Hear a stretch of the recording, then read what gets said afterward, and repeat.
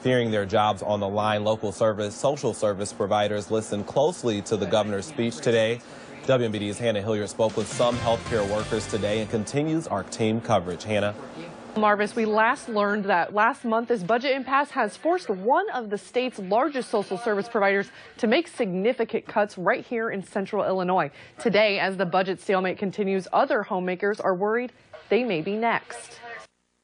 I just thought it was a lot of rhetoric, actually. You know. Devonna Bird and other home health care workers were not impressed with Governor Bruce Rauner's 2017 budget address Wednesday. Everybody's doing a lot of talking, but nobody's doing anything. I don't know what families he's talking about that, that he's got the best interests for, but uh, but it, it's it's it's not uh, it's not working class people. It's not poor people. The group of workers gathered outside the Lutheran Social Services building. Power in numbers. To show their solidarity. The organization used to help seniors in the area, but last month eliminated those programs, leaving those in a similar situation concerned. Really make a lot of money as it is, but if that's taken away, you know, then we won't have any income. It's really just a matter of time. Something that affects.